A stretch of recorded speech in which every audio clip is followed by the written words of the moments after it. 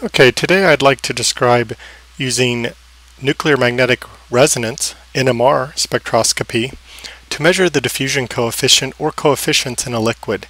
And the example I'm going to use today is a very simple one, which would just be a small amount of chloroform in deuterated acetone. And the reason I'll specifically talk about deuterated acetone is in most NMR experiments, it's a deuterated solvent we use so that we can lock the magnetic field and not have it drift during the course of the experiment.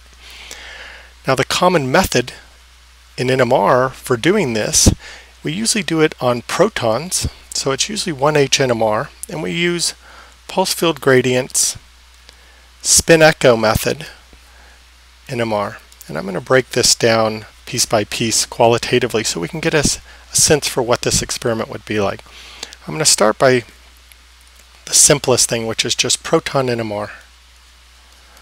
So if I told you to run a proton NMR spectrum of this sample, the most common thing you would do is to pulse it typically 90 degrees, detect what you pulse, and so this is in the time domain. This is called the free induction decay. And then you do a Fourier transform of that to, to put it into the frequency domain. And we usually plot it in parts per million of the field from about 0 to 10 parts per million of the field, which is its chemical shift. And what we would see for this sample is a peak for chloroform and a peak for acetone. Now to describe this, and this would be about 8 ppm, and this would be about 2 ppm. If we looked in very fine detail at this peak, we would actually see that it's a pentet. And the reason it's a pentet is because this is the small amount of D5 acetone that's in that's in deuterated D6 acetone, and that one proton on the acetone on one of the methyls is split by the deuteriums into a pentet. If we looked at the fine structure. If we looked at the fine structure of this, we would actually see a large peak, and then there would be two small peaks on either side of it, which are known as carbon satellites. This is due to the small amount of C13 chloroform that's at about 1% in there. That, did, that describes some of the fine structure of what you would see for this sample. Now let's go on and introduce the idea of a spin echo. So what a spin echo um, does is it refocuses the magnetization and it can be used in and of itself to measure most commonly the transverse relaxation time called T2. And so let's briefly describe this. So again, if we start with a 90 degree pulse, but after some time, we now pulse again, but for twice the duration, a 180 degree pulse. Um, what we'll see is, is that that magnetization will build up into an echo after the same amount of time tau we did here. So the total length of time here being basically 2 tau uh, neglecting the time of the 180 degree pulse. And so the signal after this point, if we start detecting at this later time, is again the free induction decay. And we do the same type of thing, which is we take a Fourier transform of that, and we'll get our standard two peaks for chloroform and for acetone. Now, the interesting thing is if we vary, if we make this tau longer and longer, so if we make it greater values tau here, these peaks get smaller and smaller. And so the reason they do that is because longer and longer times are you're allowing this to dephase in the transverse plane in a way that that transversely relaxes the sample. So if we plotted this, you would see as a function of this time versus the signal, in this case it's the signal at 2 theta, or 2 tau, decreases exponentially. And that goes as time versus this transverse relaxation time t2. And at the end of this, I'll show you a few websites where you can get more information. So a common spin echo is used to measure the T2 relaxation within a sample by varying this tau constant and watching the signal amplitude at 2 tau decrease smaller and smaller. And that signal, which you could measure directly off the free induction decay, but is not very common, it's typically measured from the Fourier transform by either measuring the peak height, the amplitude or the height of that peak and how it decreases, or by integrating over a specific area here and taking the area, the integrated area, and how it decreases. Both are directly proportional to the signal, the direct signal at 2 tau. The first, using the height, assumes that the width of these peaks remains constant throughout the experiment. The integrated area is a more accurate way to do this.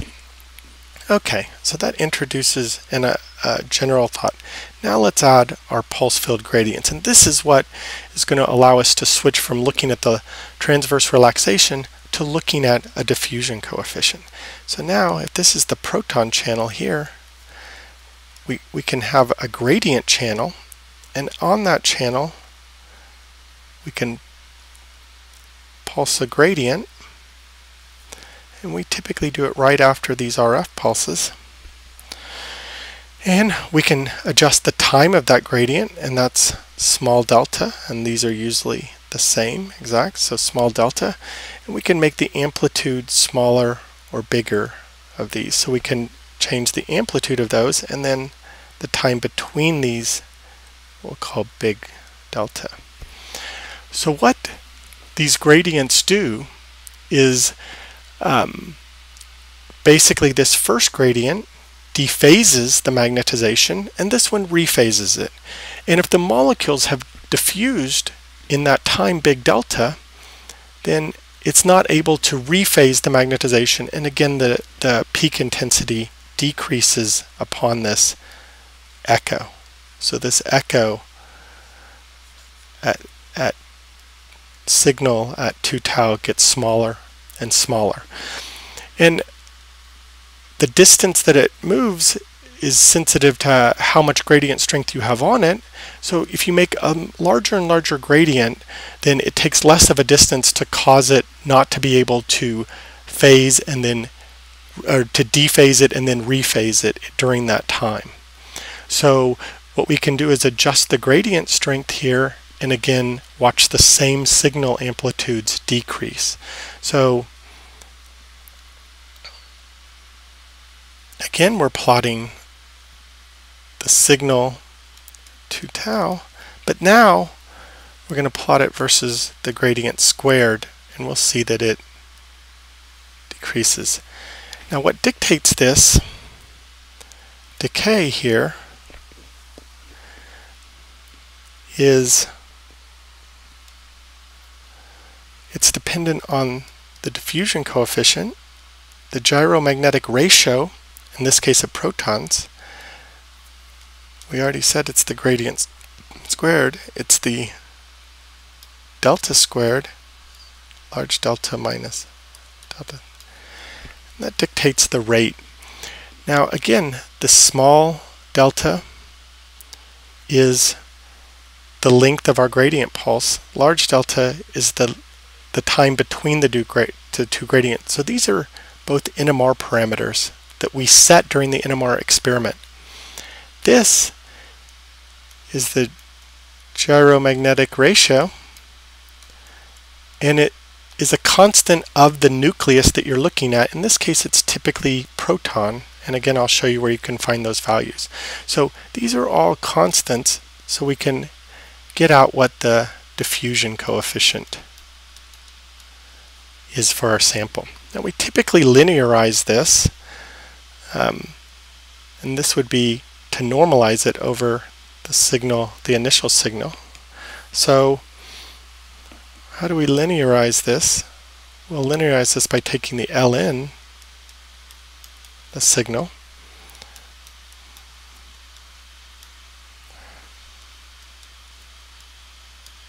I'm writing all my squared terms delta minus. And then this is plus. We can write it this way. for simplicity's sake. Now usually we take the ln of S0 over to this side. That way when we plot ln of S2, which is again our height or our integrated signal versus the gradient squared, it'll be linear. Where it crosses the y-axis here, if we bring this over, it'll be plus ln of S0. So this will be ln of the initial sig uh, signal, and then the slope will be minus d gamma squared delta squared big delta minus here. Again, the gyromagnetic ratio, big and small delta are constants, so we can get out what the diffusion coefficient is. I hope this helps in a general explanation of using proton pulse field gradient spin echoes, and I briefly want to give you a few websites you can go to for more information. And so what I pulled up here, the first I want to describe to you is um, is a free book, an online book called The Basics of NMR. It's completely online at www.cis.rit.edu, HT Books NMR. When you open that, it has a lot of the basic spin physics and goes through um, what T1 processes and what I was just describing T2 processes here. It also go through basic uh, pulse sequences including spin echo, pulse sequence here, and some practical ideas in advance that introduce the diffusion and the equation we were just talking about. If you do a simple Google search on spin echo, one of the first things that come up is the wiki page. And again, this gives a very nice example here of showing the dephasing, showing how 180 refocuses that, and how the echo can be used. And down below, it even shows you as you increase the echo time, you know, how this exponentially decays. The there are several things on NMR diffusion uh, when you pull it up that give fairly good explanations on this, um, including several articles. This diffusion NMR uh, spectroscopy is a very good article. Um, the wiki for diffusion NMR describes some of the basics. And then another one I like is the manual for Bruker's diffusion in NMR gives a very nice example. And finally, there's an NMR diffusion homepage again where they describe all the parameters that we just talked about. The gyromagnetic ratio, if you do a search again, there's a good Wikipedia page that gives the value. In this case, we typically use proton and the values are given here. Finally, if you're in my class, I've provided a lot of uh, handout information that better describes this. I hope this helps give you a basic introduction to pulse field gradient spin echo NMR. Thank you.